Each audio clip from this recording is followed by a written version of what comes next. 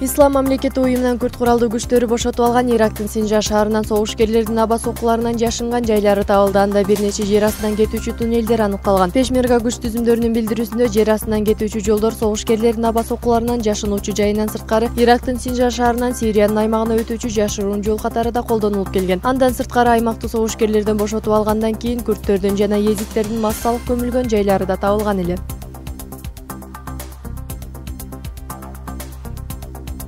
акшнын калифорния штатында атышуу уюштуруп полиция тарабынан жок кылынган эки кишинин үйүнөн курал жарактар жана жарылуучу заттар табылды. Белгилей кетсек өткөн суткада калифорния штатынын сан бернардино шаарындагы ишканалардын биринде атышуу жүз берип кырсыктан ондон ашуун киши каза болуп бир нечеси жараат алган эле. Окуя болгондон кийин кылмышкерлер тартип сакчылары тарабынан жок кылынып алардын жашаган жайы тинтүүгө алынган. Текшерүү учурунда үйдөн үч миңге жакын ок дарылар жана он эки даана колдо жасалган жарылуучу зат табылды. Айрым маалыматтарга караганда атышуу уюштуруп каза болгон эки киши террорчулар менен байланышта болгон бул окуядан кийин тийиштүү органдарга өлкө башчы барак обама тургундардын курал сактоосу көзөмөлгө алынып чектөөлөр киргизилсин деп буйруду